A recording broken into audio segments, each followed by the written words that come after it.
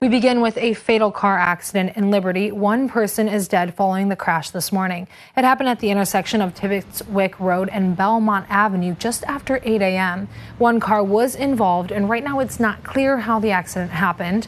Liberty Police and the Ohio State Highway Patrol were on scene. Right now, no further details have been released, but OSHP is investigating.